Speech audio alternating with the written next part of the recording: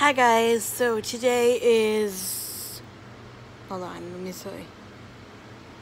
Today is Wednesday, May 23rd, May 23rd, and um, I don't think I'm vlogging tomorrow because tomorrow is the first day I'm going to be alone with Hope because my sister has been off of work because she's a nurse and that's just how her schedule is.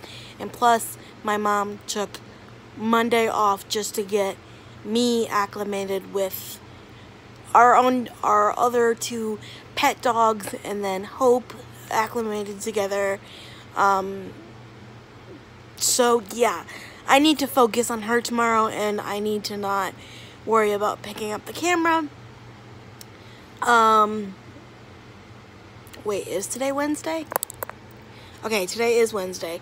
So Thursday is going to be the first day that I'm alone with my puppy. Um, and by the time you're seeing this, it's going to be Friday. But I just, I need to just vent for a second because I, I don't know. Okay, so we all know I have a disability, right? That's 95% of what my channel is about. And we all know that I'm physically limited, limited, limit, limited, limitations, limited, limit, limited. Um, I'm physically limited also as I am, like, a little bit, you know, mentally limited, learning disabilities, you know, whatever, all that. Anxiety, depression, whatever. So, okay, so I knew that getting a dog would be difficult, but I didn't think it would be this hard. Um, now, let me preface this by saying I'm not. I know a lot of people would be grateful for their family letting them bring home a dog because I know a lot of people are in different situations and all that. But just because that happens doesn't mean my feelings and my concerns are invalid. So let me just preface that. But anyway, um, like, I feel overwhelmed. I feel like I'm not living my own life. It's weird. Like, I, I'm so overwhelmed that it's like, I don't know what to do. And it's not really the training because we haven't really even started because she needs to know her name. It's not the service dog training because she needs to know her name and she needs to be potty trained and she needs to, you know, socialize with my dogs a little bit and she needs to eat on a schedule and, and you know, go in the crate at nighttime and, you know, whatever else she needs to do. But,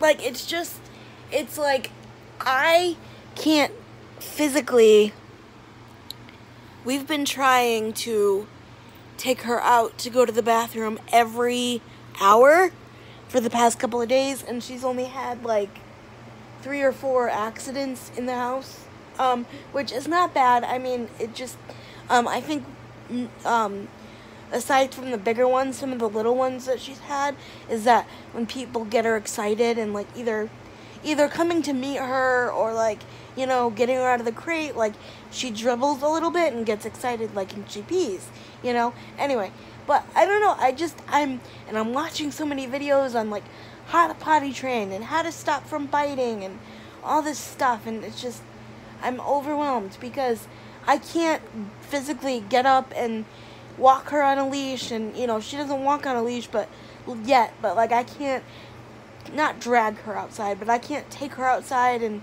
try to teach her on how to walk on a leash and all this stuff because I physically can't do it. And I know I know I'm gonna get a comment and said, well, if you physically can't do it, then you shouldn't have got a dog.